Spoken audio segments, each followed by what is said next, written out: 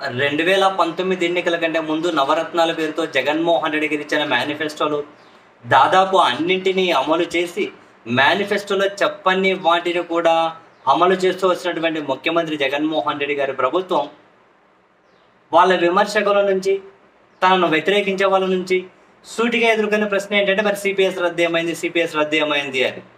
మరి ఈ ప్రశ్నకు కూడా ఈరోజు ఏపీ క్యాబినెట్ సమాధానం చెప్పబోతున్నట్లు స్పష్టంగా కనిపిస్తూ ఉంది. సిపిఎస్ రద్దు తీసుకు రద్దు చేసుకుంటూ ఒక సెన్సేషన్ డెసిషన్ తీసుకుంటున్నట్లే కనిపిస్తుంది.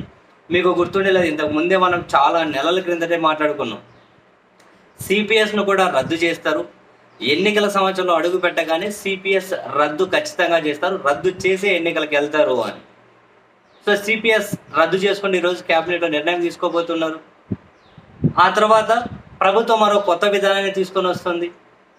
ఉద్యోగులు ఎంతవరకు సాటిస్ఫై అవుతారు అనేది కూడా ఇంపార్టెంట్ వాళ్ళు ఓల్డ్ పెన్షన్ స్కీమే యాజ్ ఇట్ ఈస్ యథావిధిగా కావాలి అంటున్నారు. ప్రభుత్వం మాత్రం అందులో ఎన్ని ప్రయోజనాలు ఉన్నాయో అన్ని ప్రయోజనాలు కూడా కవర్ అయ్యే విధంగా మరీ ముఖ్యంగా ఇప్పుడు పెరుగుతున్న ధరలకు అనుగుణంగా డిఆర్ను కూడా చేర్చుతూ మరో మంచి దాన్ని తీసుకొని రాబోతున్నాం సిపిఎస్ని రద్దు చేసి అని చెప్పి ప్రభుత్వం అయితే సంకేతాలు ఇస్తూ ఉంది. మరి ఇప్పుడు ప్రభుత్వం సిపిఎస్ రద్దు చేసుకుంటూ నిర్ణయం తీసుకొని తర్వాత వాళ్ళు తీసుకొని వచ్చే తర్వాత వాళ్ళు తీసుకొని వచ్చే పెన్షన్కి సంబంధించి కొత్త పెన్షన్. ఎంతవరకు ఉద్యోగుల మనసు గెలుచుకుంటుంది అన్నది చూడాలి. ఎంతమంది దీన్ని అంగీకరిస్తారు యాక్సెప్ట్ చేస్తారు అని. మొత్తానికి అనుకుంటే ఇచ్చిన మేనిఫెస్టోను వందకు వంద శాతం అమలు చేసే ఎన్నికలకు పోవాలని చెప్పి జగన్మోహన్ రెడ్డి గారు గట్టిగానే నిర్ణయం తీసుకున్నట్టున్నారు. ఒక సిపిఎస్ రద్దు చేసేస్తే ఇక మిగిలినవి ఏవీ లేవు.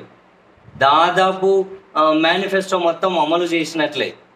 నెక్స్ట్ ఎన్నికలకు వెళ్ళినప్పుడు ఆ ఎన్నికల మేనిఫెస్టో జగన్మోహన్ రెడ్డి గారు మరేదైనా ఇచ్చినా కూడా డెఫినెట్లీ జనాలు నమ్మే అవకాశం ఆస్కారం అయితే ఉంటుంది.